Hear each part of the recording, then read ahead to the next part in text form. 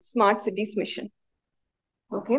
Why are we discussing this? The Parliamentary Committee on Housing and Urban Affairs emphasizes the need to launch second phase of smart cities mission for tier 2 cities located between 50 and 100 kilometers.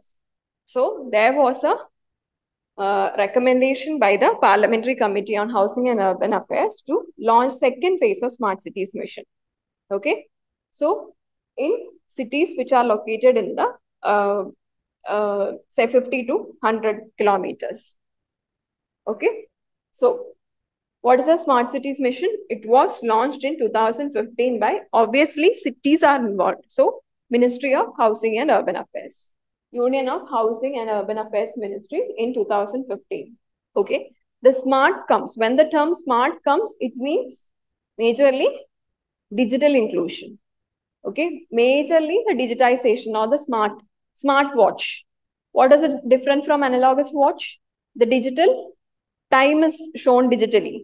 Apart from time, we can other, yeah, we can have other provisions of call. We can have other provisions of uh, tracking our uh, exercise bill, tracking our pulse rate. Okay. The smart solutions are there. Similarly, here, apart from the cities which are existing, here more advanced or the technologically advanced cities are developing or built.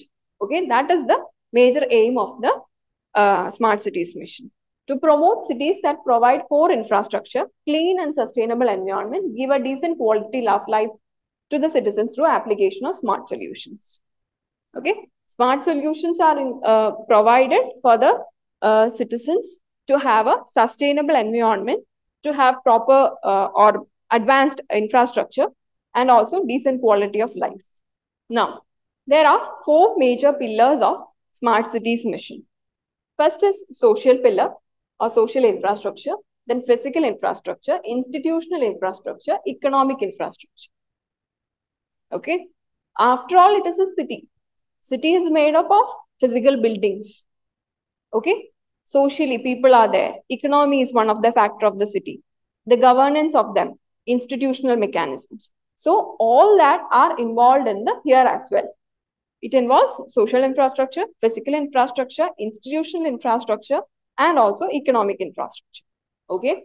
It has an integrated command and control centers. Okay.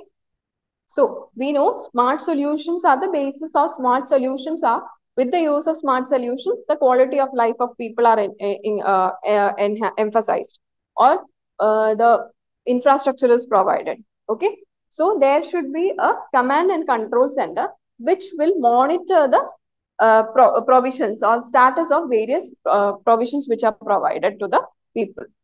Okay.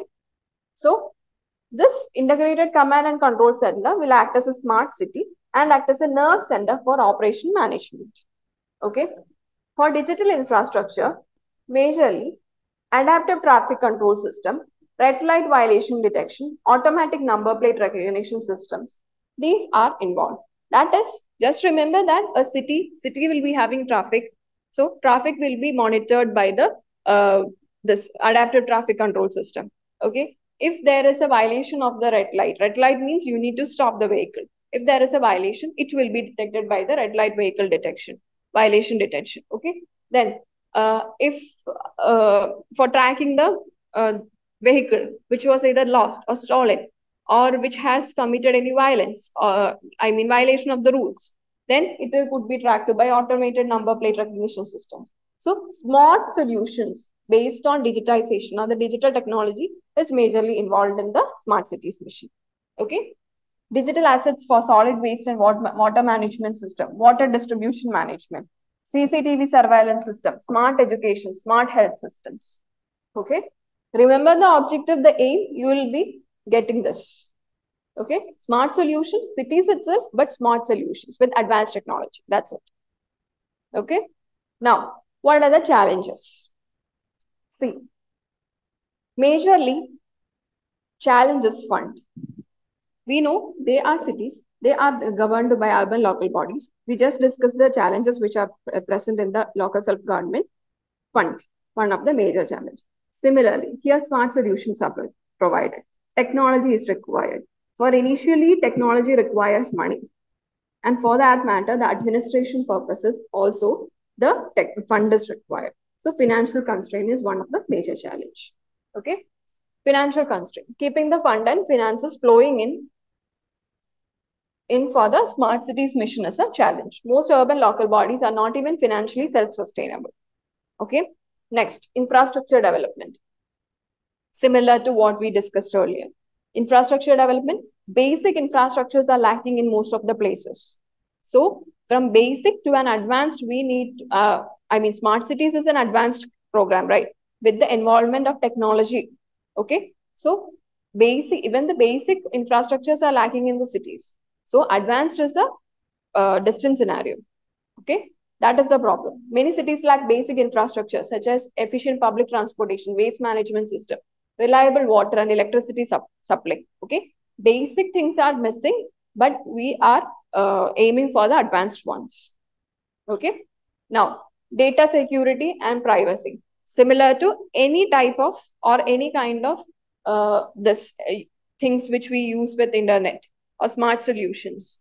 One of the major thing is data privacy. That is the problem. Okay. So we heavily detect on data collection and analyze, analysis to optimize services and resources. However, ensuring a security and privacy of the data is a major concern. Okay. Next is technology integration. See, in each and every aspect of the city, be it traffic, be it uh, number uh, analysis, be it waste management, be it water uh, provision of water to the uh, people. See, every aspect technology is integrated, right? Smart solution means technology in every aspect, in every basic services. So technology integration to this every aspect is another challenge. Okay. So technology integration, integrating various technologies and systems to create smart solution pose a challenge, especially in cities with disparate infrastructure. Clear?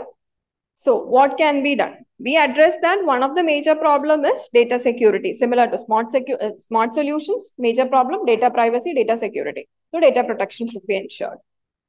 Okay. Cyber attack. A robust system is required to protect digital platforms from cyber attack and safeguarding sensitive public and private data adequately. Now, we discussed the integrated command and control centers. They are the nerve centers of the smart cities. They are responsible for managing the smart cities. Okay. The purpose or the uh, functions should be expanded. Their power should be expanded. That is another. The role of ICCs in cities should be expanded by enabling them to provide a variety of service in field of health, internal security, waste management, traffic management, disaster management, e-governance. Okay. Leveraging the special purpose vehicles. This means that See, we have different success models or success stories of various schemes which were, initi uh, which were initiated earlier. For example, last class we discussed about Deen Dayal Antyodaya, Antyodaya NRLM, National Rural Livelihood Mission, right? It's a success. Why? Because the major aim is to, what is the major aim of NRLM? Poverty elevation by providing self-employment. So, these are success stories okay? And other projects which are helping the people to come out of the poverty or which are helping them to have a better life. So these can be used by the smart cities as well. See in urban cities it doesn't mean that people are rich. They also have their own necessities. They also need to have employment okay? So these special purpose vehicles can be used by them and integrate with the smart solutions so people from the smart cities can also uh, be using this and uh, getting better life. Leveraging the special purpose vehicle. The experience and expertise gained by special purpose vehicles must be leveraged in other projects. Okay.